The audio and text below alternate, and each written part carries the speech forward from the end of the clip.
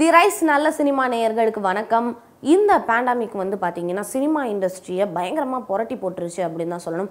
நிறைய ரிலீஸுக்கு ரெடியாக இருந்த படங்கள் எதுவுமே ரிலீஸ் ஆகாமல் போயிடுச்சு.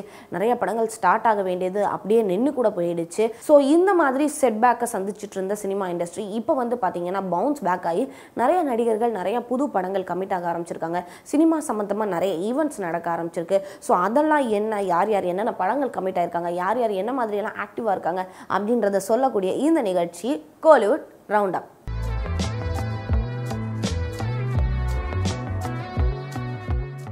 நடிகர் தனுஷ் அவரோட இந்த சினிமா ஜேர்னி வந்து பார்த்தீங்கன்னா பயங்கர இன்ஸ்பிரேஷனலான ஜேர்னி அவர் வந்து ஆரம்ப காலகட்டத்தில் இந்த சினிமாவில் இன்ட்ரடியூஸ் ஆன டைமில் வந்து பார்த்தீங்கன்னா அவர் நிறைய ரிஜெக்ஷனை சந்திச்சிருக்கேன் அப்படின்ற மாதிரி சொல்லியிருக்காரு.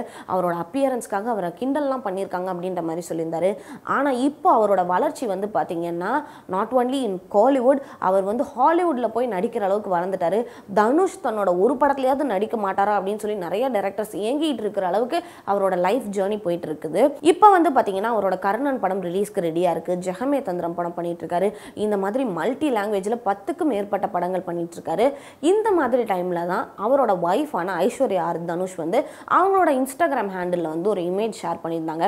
என்ன ஷேர் பண்ணியிருந்தாங்க அப்படின்னு பார்த்தீங்கன்னா அவங்க வீட்டில் இருக்கக்கூடிய ஒரு புக் ஷெல்ஃப் ரேக்கை ஃபோட்டோ எடுத்து போட்டு தனுஷோட இந்த புத்தகங்களில் அடுத்து எந்த புத்தகத்தை படிக்கலாம் அப்படின்ற மாதிரி ஒரு கொஸ்டின் மார்க் போட்டு ஷேர் பண்ணியிருந்தாங்க. இதை பார்த்த ரசிகர்கள் எல்லாம் வந்து பார்த்தீங்கன்னா தனுஷ் வந்து இவ்வளோ புத்தகம் வாசிக்கக்கூடியவரா அப்படின்ற மாதிரி ஆச்சரியப்பட்டாங்க. அந்த இமேஜ் உங்களுக்காக. பிக் பாஸ் அப்படின்ற நிகழ்ச்சி எந்த அளவுக்கு ஃபேமஸான நிகழ்ச்சி நான் சொல்லி உங்களுக்கு தெரியணும் அப்படின்ற அவசியம் கிடையாது. நான்கு சீசன்களாக வெற்றிகரமாக போயிட்டு இருக்கக்கூடிய நிகழ்ச்சி. இந்த நிகழ்ச்சி ஒளிபரப்பாகக்கூடிய டைமில் வேற எந்த சேனலில் எவ்வளோ பெரிய நிகழ்ச்சி போட்டாலும் அது வந்து ரேட்டிங்கில் வரவே வராது. அந்த அளவுக்கு மக்கள் ஆர்வமாக பார்க்கக்கூடிய இந்த நிகழ்ச்சிக்கு ஒரு முக்கியமான காரணம் யார் அப்படின்னு பார்த்தீங்கன்னா அதை தொகுத்து வழங்கக்கூடிய திரு. கமல்ஹாசன் அவர்கள். அவர் தான் கிட்டத்தட்ட நான்கு சீசன்களாக தொகுத்து வழங்கினார். அவரோட ஆங்கரிங் ஸ்டைலே வந்து பார்த்தீங்கன்னா ரொம்ப வித்தியாசமாக இருக்கும். இப்போ அவர் வந்து அரசியலில் பயங்கர பிஸியாக இருக்காரு. வர எலெக்ஷனில் அவர் வந்து பார்ட்டிசிபேட் பண்ணுறாரு அப்படின்னு எல்லாரும் சொல்லிட்டு இருந்தாங்க. ஒரு பக்கம் வந்து பார்த்தீங்கன்னா அவர் வந்து எலெக்ஷனில் பிஸியாக இருக்காரு அப்படின்னாலுமே அவர் வந்து எலெக்ஷன்லாம் முடிச்சுட்டு இந்த பிக் பாஸ் சீசன் ஃபைவ் நிகழ்ச்சியை தொகுத்து வழங்குவார். அடுத்த சீசனுக்கு உண்டான வேலைகள்லாம் போயிட்டுருக்கு அப்படின்ற மாதிரி நியூஸ் வந்துட்டு இருந்துச்சு.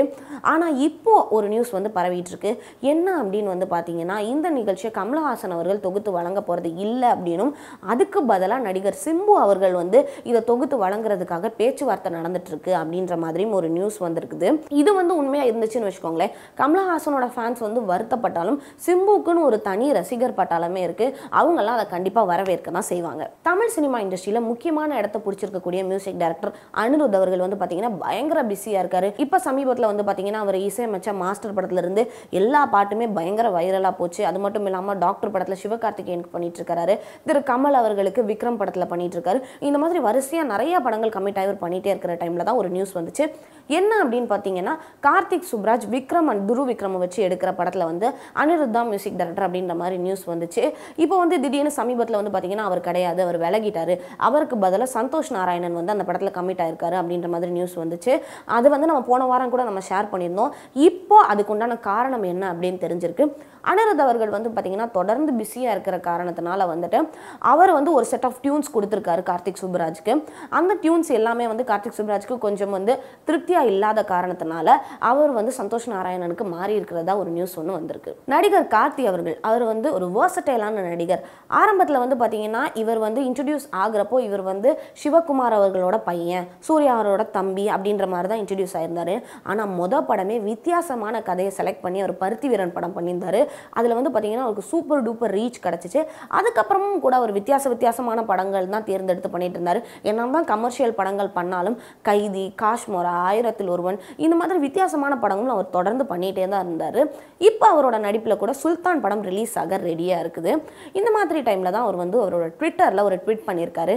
என்ன அப்படின்னு பார்த்தீங்கன்னா கடந்த அக்டோபர் மாதம் அவருக்கு வந்து ரெண்டாவதாக ஒரு ஆம்பளை பையன் வந்து பிறந்திருந்தார். அவரோட பேர் என்ன அப்படின்றது தான் அவர் ட்விட்டரில் வெளியிட்டிருக்காரு. தன்னோட மகனோட அழகான கைப்படத்தை வந்து அவர் வெளியிட்டு அதில் வந்து கந்தன் அப்படின்னு மென்ஷன் பண்ணியிருந்தார். நானும் உன்னோட அம்மாவும் உன்னோட அக்காவும் சேர்ந்து உனக்கு கந்தன்னு பேர் வச்சிருக்கோம் அப்படின்ற மாதிரி அழகான வரிகளையும் அவர் அதில் மென்ஷன் பண்ணியிருந்தார். அந்த ட்வீட் உங்களுக்காக.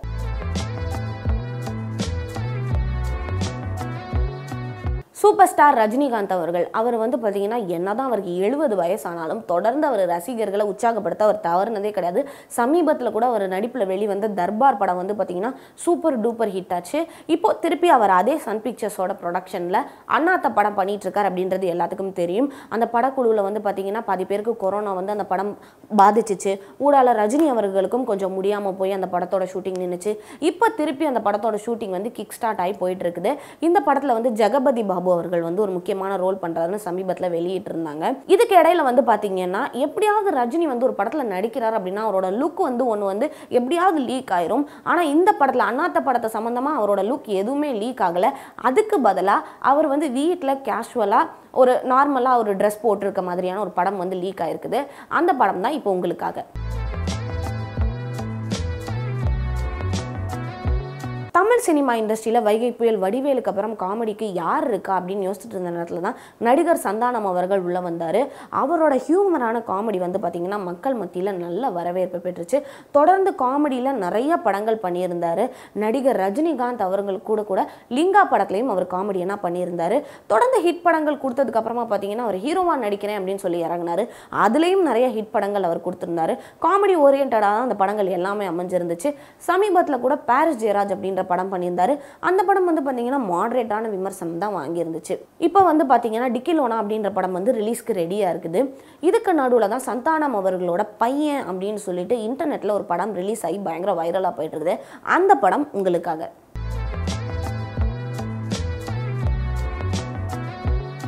டைரக்டர் அட்லி அவர்கள் பிரம்மாண்ட இயக்குனர் சங்கர் கிட்ட தான் முதல் முதல்ல இவர் வந்து அசிஸ்டன்ட் டைரக்டராக இருந்தார். அவரை டைரக்ட் பண்ணியிருந்த எந்திரன் படமாக இருக்கட்டும் நண்பன் படமாக இருக்கட்டும் அதிலெல்லாம் அசிஸ்டன்ட் டைரக்டராக அவர் ஒர்க் பண்ணியிருந்தார். அதுக்கப்புறமா அவர்கிட்ட இருந்து பிரிஞ்சு வந்து பார்த்தீங்கன்னா ராஜாராணி படத்தை டைரக்ட் பண்ணார். அந்த படம் நூறு நாள் ஓடி சூப்பர் டூப்பர் ஹிட் ஆச்சு. அதோட வெற்றியை தொடர்ந்து தொடர்ந்து தளபதி விஜய் அவர்களோட தெரி மெர்சல் பிகில் அப்படின்ற மாதிரியான படங்கள்லாம் பண்ணியிருந்தார். இந்த படங்கள் எல்லாமே சூப்பர் டூப்பர் ஹிட் ஆகி அவருக்கும் தளபதி விஜய்க்கும் நல்ல பேர் வாங்கி கொடுத்துச்சு. இந்த படங்கள் மூலியமாக கிடைச்ச வெற்றியினால் அவர் வந்து பாலிவுட்ல ஒரு படம் டைரக்ட் பண்றதுக்கான வாய்ப்பு கிடைச்சிச்சு. அந்த படம் யாரோட அப்படின்னு பார்த்தீங்கன்னா ஷாருக் கான் அவர்களோட தான். இந்த நியூஸ் எல்லாமே நம்ம எல்லாத்துக்குமே தெரியும். இந்த படத்தில் அட்லிக்கு எவ்வளோ சம்பளம் பேசியிருக்காங்க அப்படின்ற மாதிரியான ஒரு தகவல் ஒன்று வெளியாயிருக்குது. என்ன அப்படின்னு பார்த்தீங்கன்னா இந்த படத்தில் அட்லிக்கு சேலரியாக ஃபார்ட்டி க்ரோர்ஸ் பேசியிருந்தாங்க அப்படின்னும் ஃபைனல் பண்ணி தேர்ட்டி ஃபைவ் க்ரோர்ஸ் அவருக்கு கொடுக்குறாங்க அப்படின்ற மாதிரியும் ஒரு தகவல் வந்திருந்துச்சு. இது வந்து பார்த்தீங்கன்னா டைரக்டர் சங்கர் அவர்களுக்கு இந்தியன் டூ படத்தில் டுவெண்ட்டி ஃபைவ் க்ரோர்ஸ் தான் சம்பளம் பேசப்பட்டிருந்துச்சு. அவரை விட இவர் ஹையாக வாங்கியிருக்கனால குருவையே சிஷ்யன் மிஞ்சிட்டாரு அப்படின்ற மாதிரியான நியூஸ்லாம் நெட்டில் பரவிட்டு இருக்கு சன் பிக்சர்ஸ் அது எவ்வளோ பிரம்மாண்டமான ப்ரொடக்ஷன் கம்பெனி அப்படின்றது நான் சொல்லி உங்களுக்கு தெரியணும் அப்படின்னு அவசியம் இல்லை. நிறைய நடிகர்களுக்கு முக்கியமான இடம் இன்னைக்கு இருக்கு இண்டஸ்ட்ரியில் அப்படின்னா அதுக்கு சன் பிக்சர்ஸ் ஒரு முக்கியமான காரணம் அப்படின்னு தான் சொல்லணும். தொடர்ந்து அவங்க வந்து பார்த்தீங்கன்னா சூப்பர் ஸ்டார் அவர்களை வச்சு அண்ணாத்த படம் பண்ணிட்டு இருக்கிறாரு விஜய் அவர்களோட அடுத்த படமும் அவங்க தான் பண்ணிட்டு இருக்காங்க இப்போ சமீபத்தில் வந்து பார்த்தீங்கன்னா அடுத்ததான் அவங்க பண்ண போகிற படத்தோட அறிவிப்பு வெளியே வந்திருக்கு. அது யார் கூட அவங்க அசோசியேட் ஆகி பண்ணுறாங்க அப்படின்னு பார்த்தீங்கன்னா விஜய் சேதுபதி அவர்கள் அந்த படத்தில் ஹீரோவாக பண்ணுறாரு அந்த படத்தை டைரக்ட் பண்ணுறாரு பொன்ராம் அவர்கள். இந்த படத்துக்கு இசையமைக்கிறாரு டிஹிமான் அவர்கள். இப்போதைக்கு இந்த மாதிரியான தகவல் தான் வெளியில் வந்திருக்கு. யார் ஹீரோயினாக பண்ண போகிறா மித்தபடி காஸ்ட் அண்ட் க்ரூ யார் அப்படின்ற தகவல்லாம் வரல. சன் பிக்சர்ஸ் வந்து பார்த்தீங்கன்னா அவங்களுக்கே உரிய ஒரு ஸ்டைலில் வந்து பார்த்தீங்கன்னா அடுத்தடுத்த காஸ்ட் அண்ட் க்ரூவெல்லாம் இன்ட்ரடியூஸ் பண்ணுவாங்க. ஸோ அதுக்காக நம்ம வெயிட் பண்ணி தான் காத்திருக்கணும்.